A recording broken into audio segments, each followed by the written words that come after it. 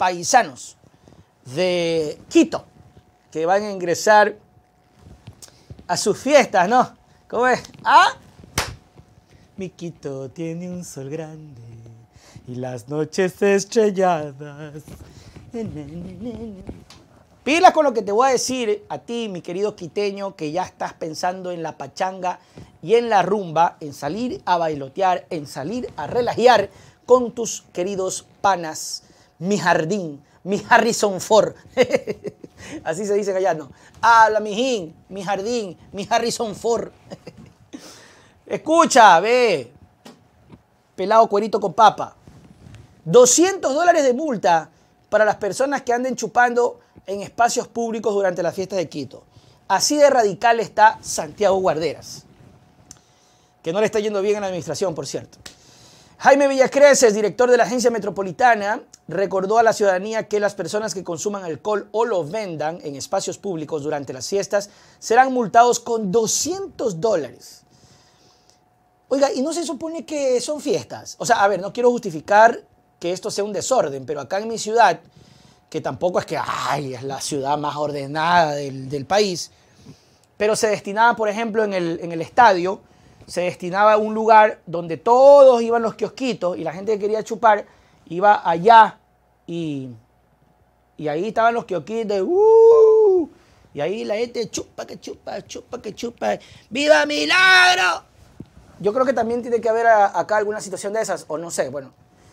De la misma manera, el funcionario alertó que iniciarán varios controles en diversos puntos de la capital, los cuales iniciaron el jueves 25 y se extenderán hasta el lunes 6 de diciembre. Por su parte, Guido Núñez, director de gestión de seguridad, pidió a la, pidió a la corresponsabilidad a los asistentes de los eventos masivos por fiestas de Quito con el fin de evitar incidentes. Debemos tener responsabilidad como sociedad para que el día de mañana no veamos que tengamos altercados, eventos con desorden, riñas, peleas. También es muy importante el consumo moderado de bebidas alcohólicas. En el evento público masivo se verificará el cumplimiento del aforo permitido, que los asistentes utilicen mascarilla y que cuenten con el carnet de vacunación. Es decir, usted tiene que ser un borracho muy ordenado. O sea, usted puede ir con el carnet y decir, a ver, a ver, aguante, aguante.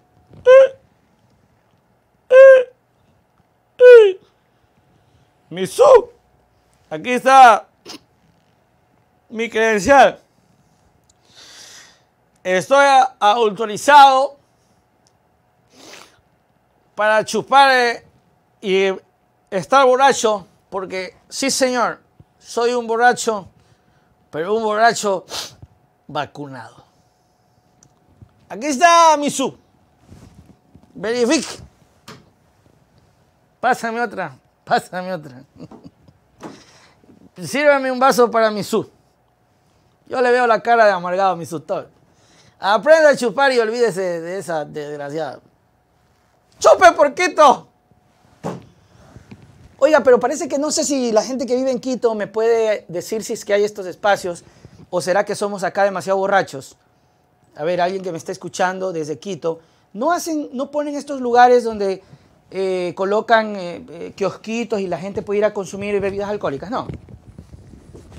A ver, alguien de Quito, por favor, si es que me dice si es que realmente da esa posibilidad. Acá, acá les digo, por decirle, en el, en el estadio o en los alrededores, que es grande, se les permite, no sé si lo van a hacer ahora, no sé con el tema de la pandemia, pero se permite que estén los kioscos y la gente pueda ir a comprar su bielita, su cervecita y se quedan conversando. No hay, dice por acá Edison Orbe. ¿En serio? O sea, yo no estoy incentivando al relajo. Acabo de llegar Piolín, dice Maritza Carrillo. En la Chiris, Diana Margarita. No, me dice Julio Añasco. Eso no se, eso no se da, dice. Eh, yo soy de Quito y no hay eso. Chuta, ñaño, no, pues hable serio.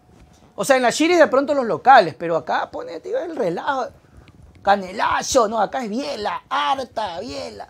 Cosa que tú pasas por ahí, es puro kiosquito donde la gente va a chupar. Acá todavía se cierran las calles. Pues. Bien sinvergüenza acá. Por eso es que nos dicen pueblo. las carpas cerveceras. bueno, en todo caso, yo lo que les hago, amigos, es avisar nomás disfruten, pásela bonito, con moderación. Eh, Yo, vea, yo, no le- yo sería bien hipócrita donde no le diga que no se divierta, porque yo sí soy bien alegre en ese sentido. No le voy a decir, el Nelson es curuchupa, ¿no? Pero hay que moderarse, porque ya uno también la experiencia, tanta tontera que uno le ha pasado de muchacho, ya uno tiene 36, ya no es un niño. Entonces, a veces tiene que pasarle para, para tomar eh, conciencia de las cosas. En todo caso, pero es chévere. es chévere.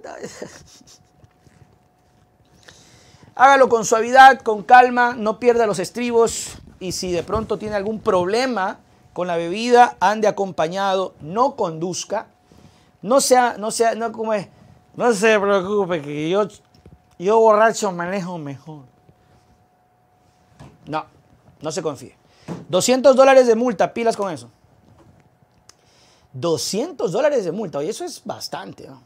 Bastantísimo. Como son bastante también la gente que nos está escuchando y viendo, no olviden de compartirla. Dice acá, eh, dice acá Piolín, aquí no hay, hablo del ministro presidente, todo está abierto de 5 a 100 de la mañana.